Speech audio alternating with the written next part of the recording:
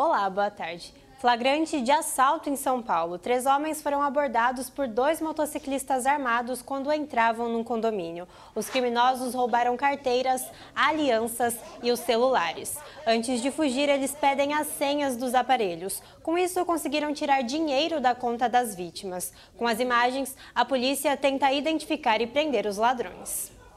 Manifestantes protestaram na praia de Copacabana contra o projeto de lei que iguala o aborto após a 22ª semana de gestação ao crime de homicídio. Uma comissão da Câmara dos Deputados vai discutir o texto no segundo semestre.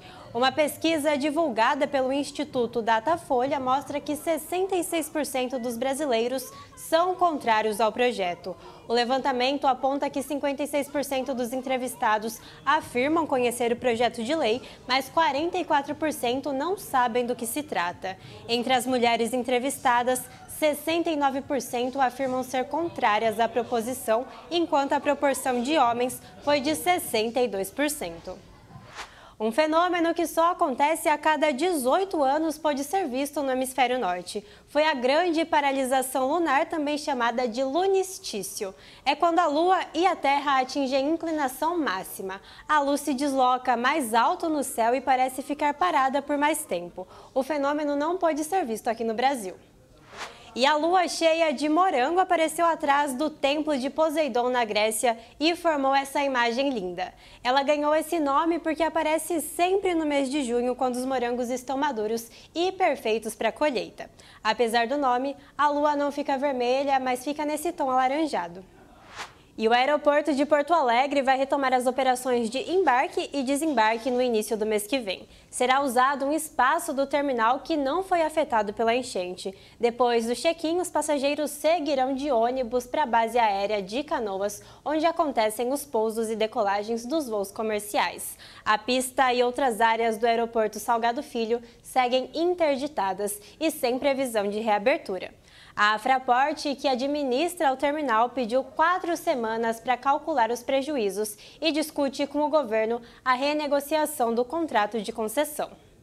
A Suprema Corte dos Estados Unidos decidiu que agressores de mulheres não podem ter direito à posse de arma de fogo. Foram oito votos a um. A votação anula a decisão de um tribunal inferior que liberou a posse de armas para acusados de violência doméstica.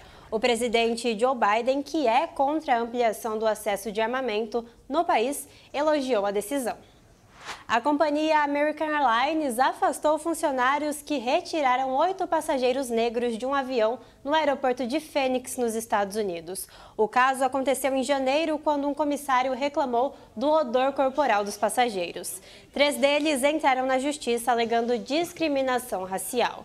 A companhia classificou o caso como inaceitável e prometeu responsabilizar os culpados.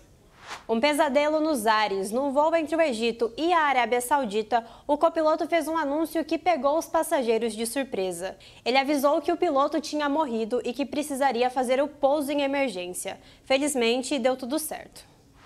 E nunca é tarde para aprender. Olha só esse exemplo. Essa americana concluiu o mestrado aos 105 anos de idade. Virginia começou a pós-graduação de educação em 1940 na Califórnia, mas parou de estudar no ano seguinte quando o marido dela foi convocado para servir na Segunda Guerra Mundial.